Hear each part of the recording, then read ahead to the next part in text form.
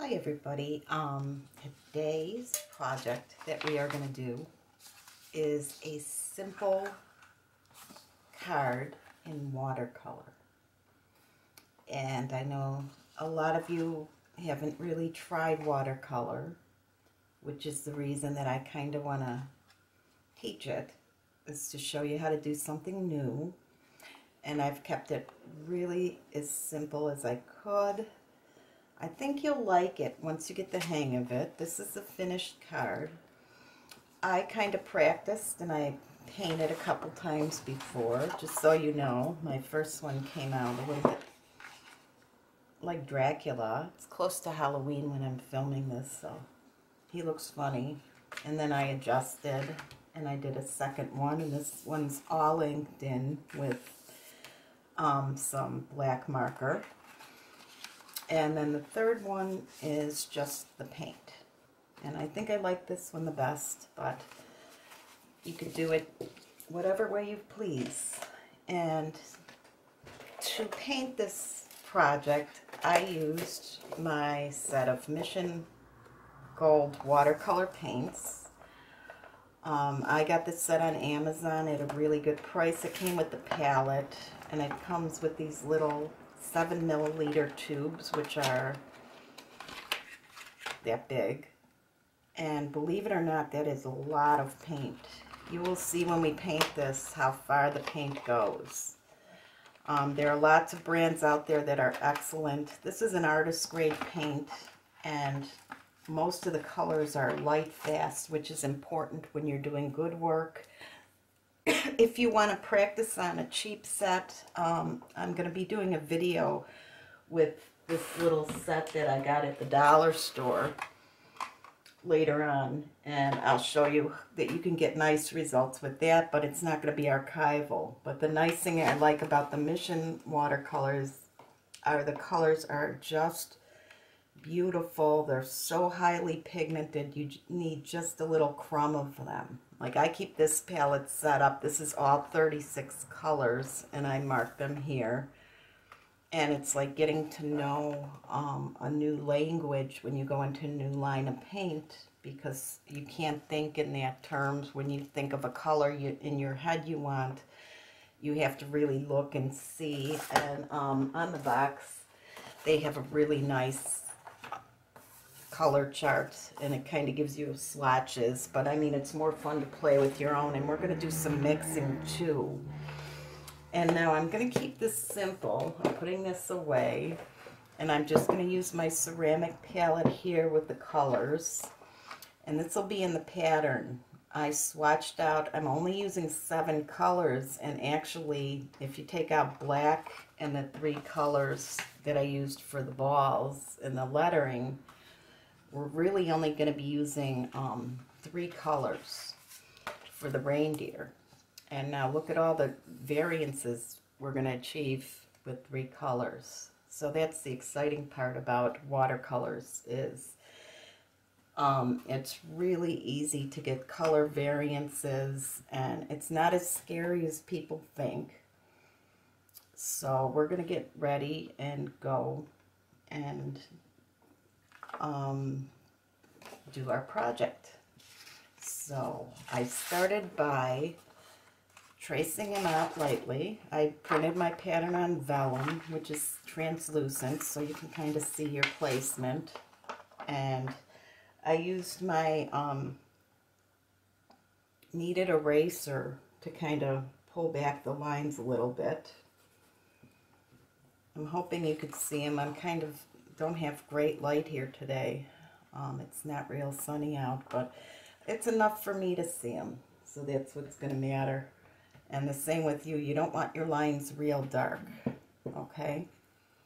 So I'll be back in a second and we'll get started. Okay, um, I did turn on the lights, so I hope we're not going to get a lot of shadows. I guess the first thing I should start talk about is brushes. And it's odd, but I use very few round brushes in my acrylic painting, but that's really kind of all I use when I do watercolor. I sometimes will use a um, angle shader, but not often. The more I'm using watercolor, the more I'm finding that the round brushes are fine.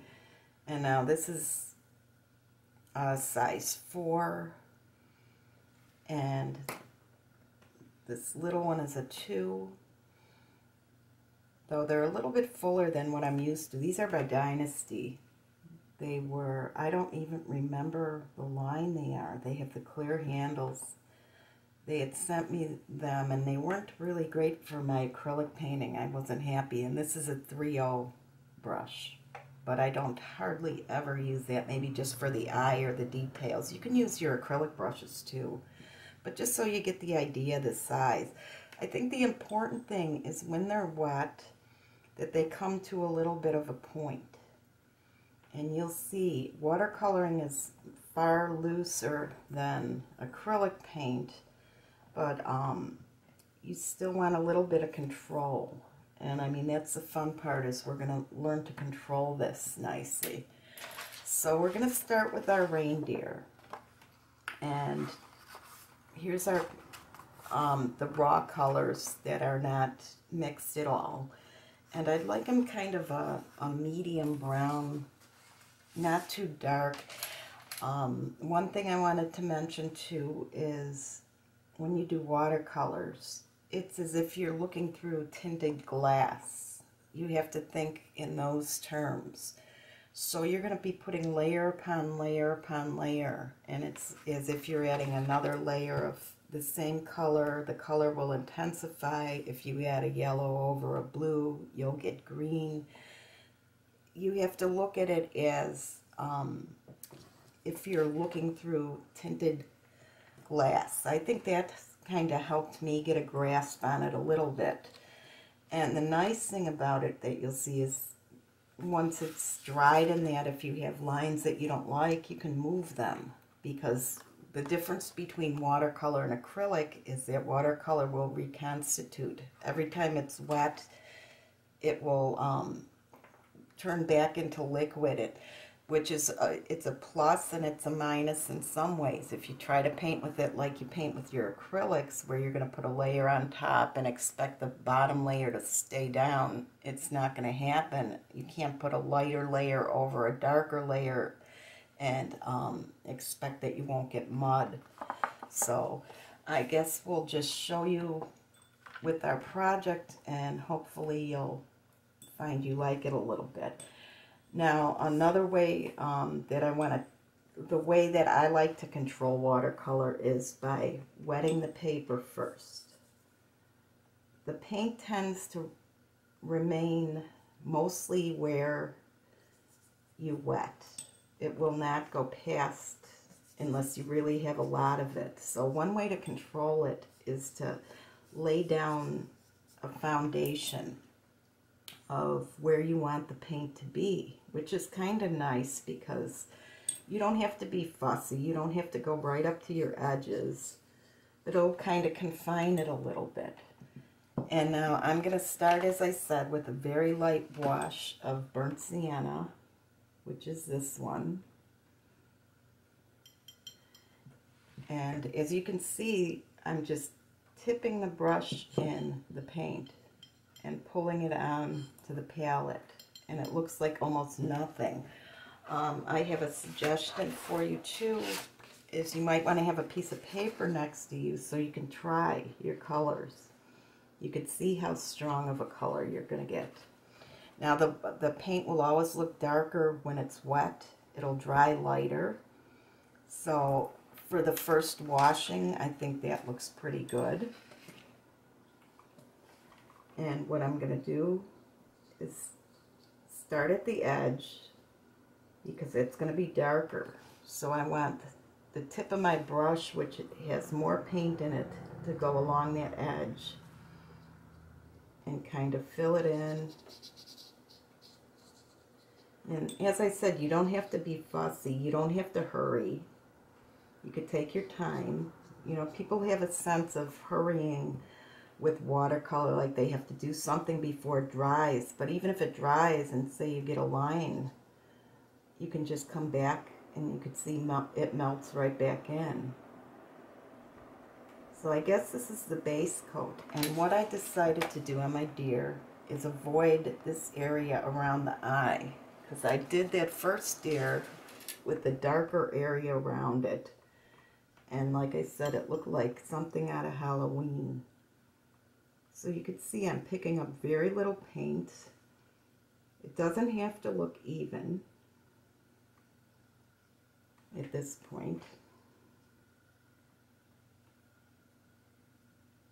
And I'm just kind of toning him.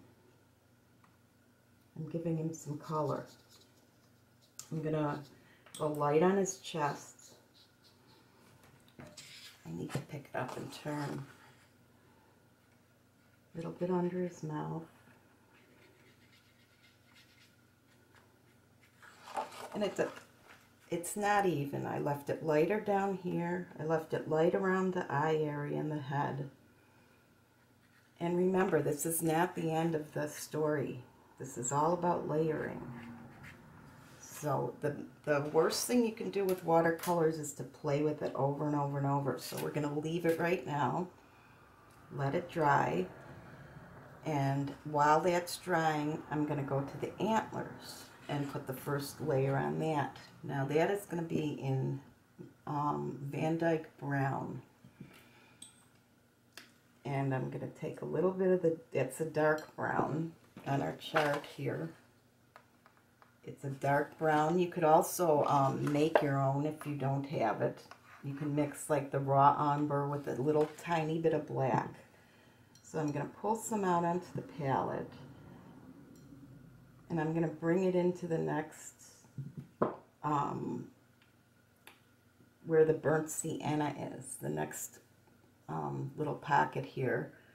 Because that burnt sienna has that little bit of orangey in it. And I'm going to just tone it a little bit. So, once it's on my palette,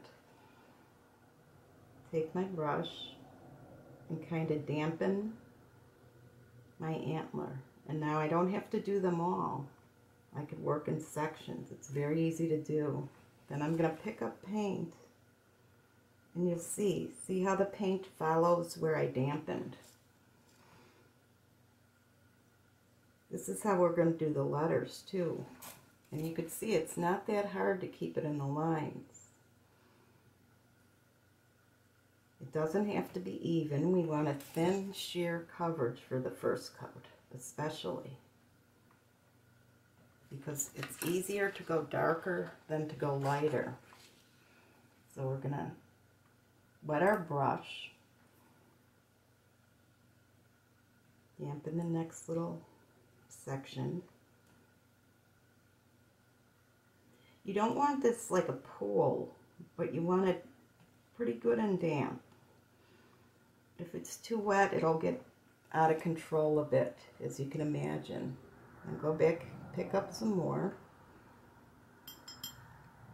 And as you can see, it's a very loose mixing back and forth. That's what gives it its character. Now we're going to fill this in. See how I'm kind of just encouraging it to go where I want to go.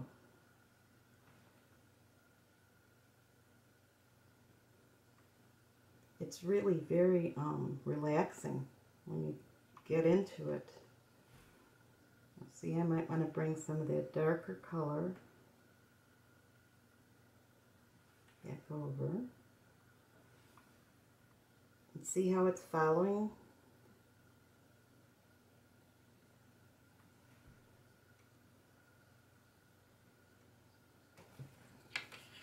flip it over again. Now it's not even, but don't worry about it. Pick up a little bit of water and do the last leg of your antler. And now see, I barely had to even put paint on. Pick up some color. Let it fall in. I think it's kind of cool how it like just falls into place. Okay. Now, I'm going to let that dry a minute. And I will be back in a second. Okay, he's all he's he's dry enough anyway to move on.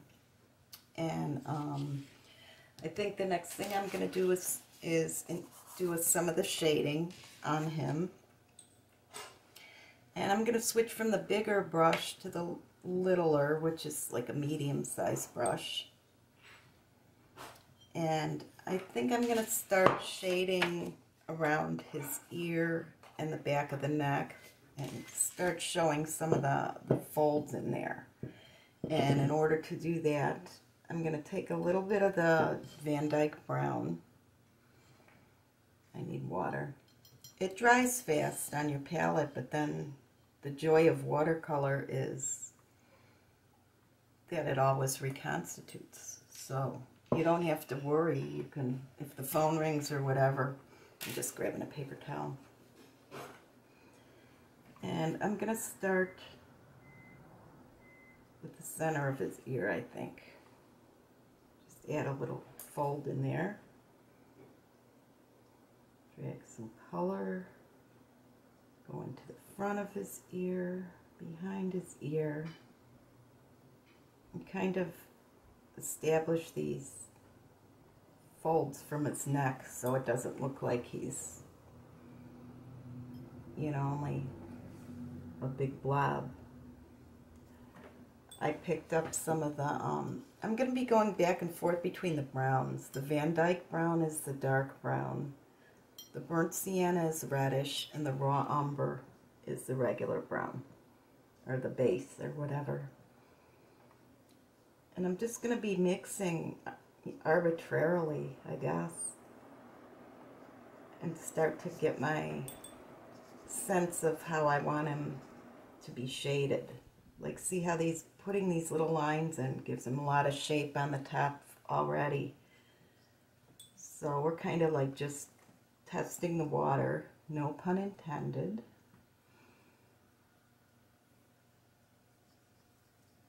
But we want the shade on the underside more than on the top.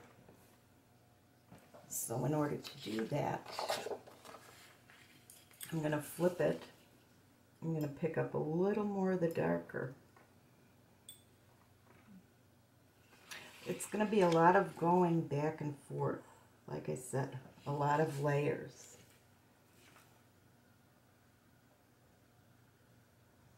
You're almost going to kind of draw in your lines with the tip of your brush, and then you come back and, and blend them, which is actually what float shading is in acrylic painting. You're using that same wicking of the water to give your, your pieces their shape. And the nice part about the um, watercolors is you can move anything you want. So if you don't like something, you can move it, blend it in. It's really a lot of fun. Okay, I'm going to leave that dry. It's getting wet in there. I don't want anything too wet. You'll see the paper starting to wrinkle a little, which is fine. Um, that'll straighten out soon when it's dry. I'm gonna, I loaded up some of the um, burnt sienna and raw umber, made a little mix, and I'm gonna kind of go around the eye, just a little to establish that white part.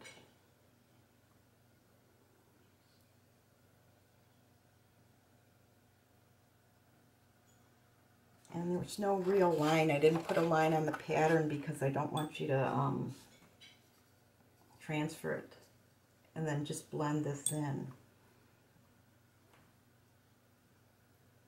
Are you seeing like how easy this is? You could also take a little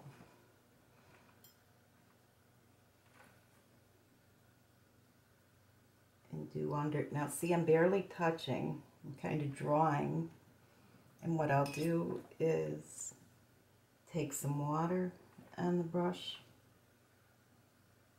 and kind of blend it out. This is a puddle here, so I'm pulling that puddle up. And you can pull that right off if you have too much. I'm going to shade it a little under underneath his mouth. And I'm going to kind of give the face, that cheek shape in there.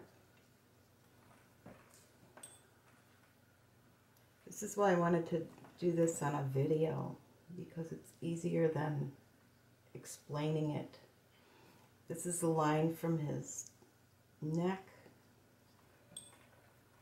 That looks a little orange, so what I'm going to do is go back and pick up some of the Van Dyke Brown and blend it down.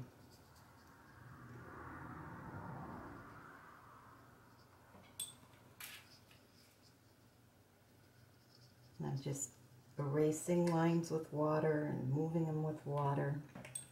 And it's really fun. It's really kind of nice. Now see, that looks too connected there to me. You don't want a line like that, so you want to break it up a little bit. Just kind of erase it with water. And we're going to go around his ear. The same mixes. I'm just pulling in variations of those three colors. If I want it a little darker, I'll add more of the Van Dyke Brown. If I want to add a little warm red to it, then I add a little bit of the um, burnt sienna. If I want a neutralized color, I add the raw umber. I want the inside of his ear a little darker, so I'm going to grab the Van Dyke Brown. Now see, I just barely touched it, and it's a dark, uh, it was quite dark, so just going to take that and kind of draw it in like that. And I like that color, so I'm going to put a little of that under the mouth. Give him a nice and blend it. You see how nice he's looking? I'm going to warm up this on the bottom by using the burnt sienna and the raw umber mix and start by touching on the tip. You can even put a like a line in like this if that if you're more comfortable with that. You don't have to wet everything. You could line it and then rinse your brush and then use the water to fade the line and to soften it.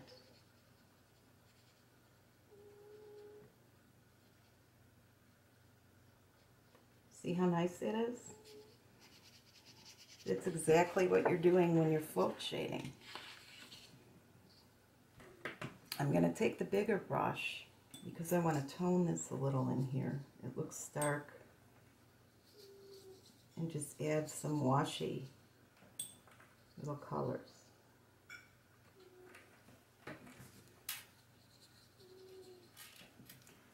Now, um, you see me dipping into this little water. I don't know if I mentioned, um, I have a big jar for when I really want to rinse my brush, when I go like from green to red or something like that, or when I want to put yellow on. Um, I'm going to let that dry a little bit, and I'm going to start putting in the eye with the little brush. I'm going to wet some black but I'm going to keep it thick.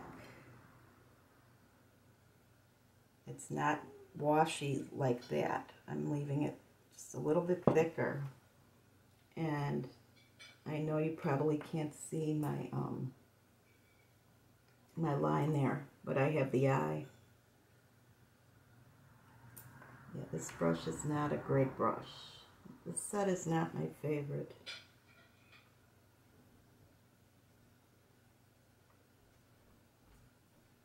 And I'm just going to tap in his eye. Leaving the center white. Now, if you go over the center and lose his highlight, it's not a tragedy. What I would suggest you do is either at the end, you could take acrylic paint and put a dot in. Nobody will notice. Or you can get this Copic opaque white, which is, it's, I got it on Amazon. It was expensive though, but it goes a long, long way. It's supposed to be used with watercolors or that, and it's probably just like white acrylic paint, so I'll use that, but I mean, you can use your Deco Arts, and I cannot see a problem. I would do that last. Sorry, I put that down and lost everything. Okay, so his eye is in there. We're going to let that dry because it's quite wet. And then for his nose, what I'm going to do is take my smaller brush and the tip, just tip it with black and then just start, there's, that's quite thick. I put a dot in, so I'm going to rinse it out and blot it a little and then just drag that black out. I don't want a, a big blob of black.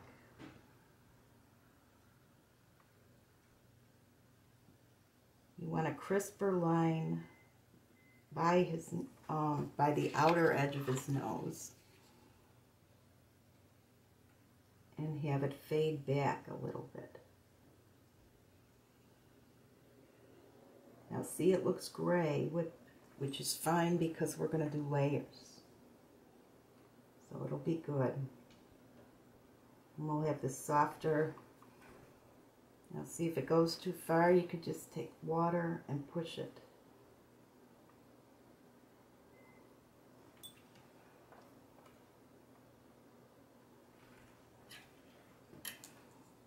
You want to encourage the paint where to go.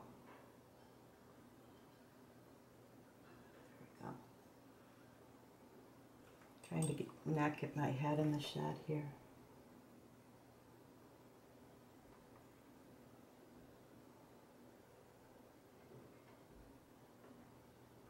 Okay, so he's starting to look like a deer. He's got the softer line in the back, and I will take a break and let this set up a minute.